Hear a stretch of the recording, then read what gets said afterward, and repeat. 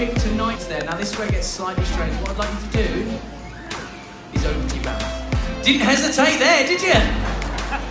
It's like you're on a rugby trip. Some rugby players in. Six of diamonds, right? I'm going to take it. Open your mouth.